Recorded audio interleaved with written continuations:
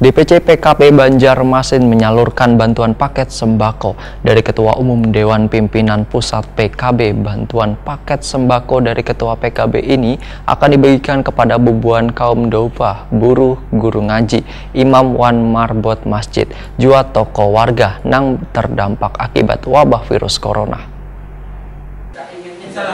DPC PKB Banjarmasin menyalurkan bantuan paket sembako dari Ketua Umum Dewan Pimpinan Pusat PKB Abdul Muhaimin Iskandar nang akrab disapa Gus Ami atau Cak Imin. Pembagian paket sembako ini diserahkan secara simbolis kepada warga yang terdampak secara ekonomi akibat wabah virus corona di kantor DPC PKB Banjarmasin Jalan Gunung Sari Besar Banjarmasin Tengah, Kamarian Minggu 17 Mei 2020.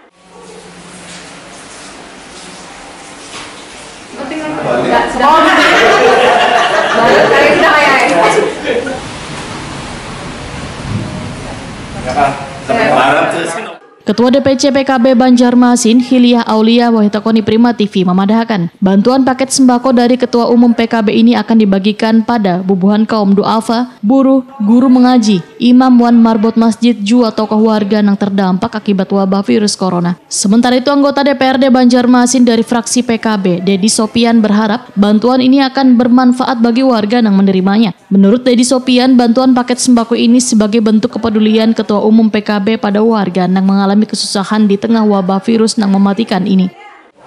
Nah harapannya uh, dengan kepedulian PKB kepada warga Banjarmasin khususnya kepada guru mengaji itu dan kepada warga yang terdampak yang ekonominya uh, dengan posisi di bawah uh, kemampuannya kami berharap bahwa bantuan ini akan menjadi meringankan beban mereka sehingga dalam hal uh, COVID-19 ini mereka bisa melaksanakan kegiatan uh, PSBB-nya.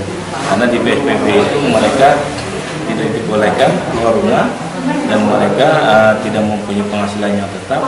Nah, mereka sangat berterima kasih kepada Ketua Umum dalam hal ini Pak Gus Mohaimin yang memberikan bantuan sembako Dedi Sopian pun meminta warga jika ada keperluan jangan keluar rumah Wan selalu mematuhi anjuran kesehatan dengan selalu menggunakan masker, membasuh tangan pakai sabun di banyu yang mengalir Wan menjaga jarak.